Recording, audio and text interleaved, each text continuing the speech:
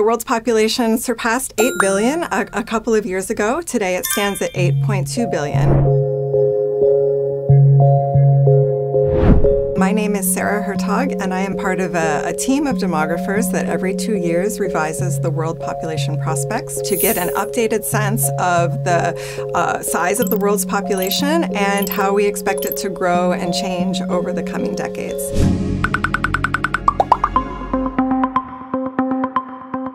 One of the key findings from our new report is that we do expect that the size of the world's population is going to peak within the current century.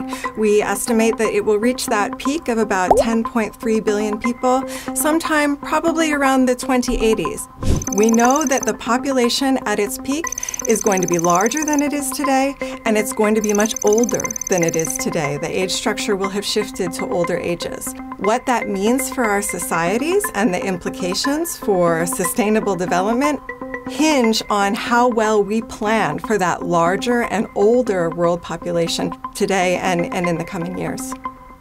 We know that there are some countries that are expected to double before the, the middle of the century in terms of population. They continue to have extremely high fertility and to grow at a, a very fast rate.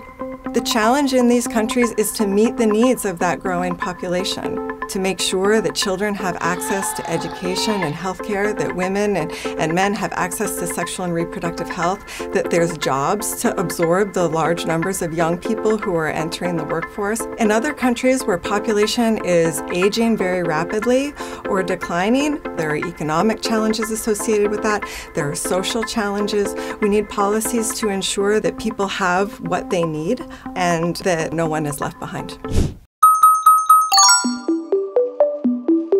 The three components of population change are fertility, the number of births, mortality, the number of deaths, and then at the country level, net international migration. Of course, at the global level, net international migration is equal to zero.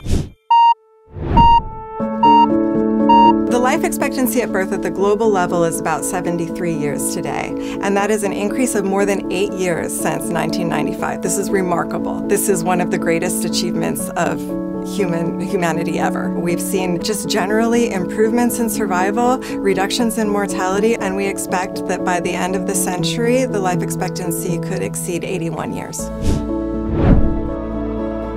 Today, at the global level, the total fertility rate is about 2.2 children per woman, and that's almost one child per woman less than it was uh, in 1990. 2.1 children per woman is the replacement rate, which is the level of total fertility in order for the population size to stabilize in the absence of any net international migration. Population trends are integrally related to gender equality. In many parts of the world where fertility remains very high and the population is growing, women are having more children than they say that they want. When women have an education, when they have access to the tools and resources, information, and family planning that they need to make decisions about the number, timing, and spacing of their children, that we see fertility fall where fertility is very low and populations are declining, what we see is a lot of women are having fewer children than they say that they want. And I think gender equality is at the heart of that as well.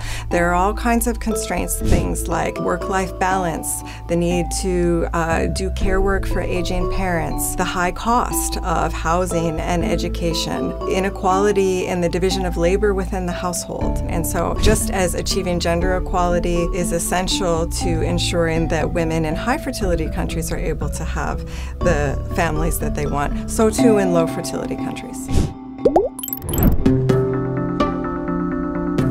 Country level, migration can have quite a large impact, especially on the trajectory of, of, the future population. It's not predictable in the same way that fertility and mortality are. It depends on demographic factors, it depends on the economic context, and it depends on the political situation. For a number of countries, uh, those that are declining in population size, net migration may be a way to bolster the population size going forward.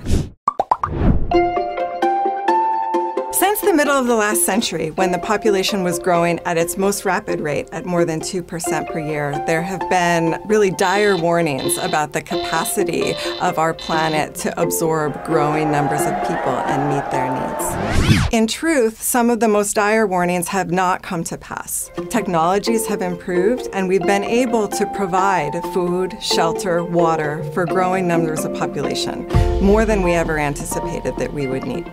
It's really up to us and up to our governments and our policymakers to prepare us and begin planning now to meet the needs of a growing number of people while ensuring a sustainable future for our planet.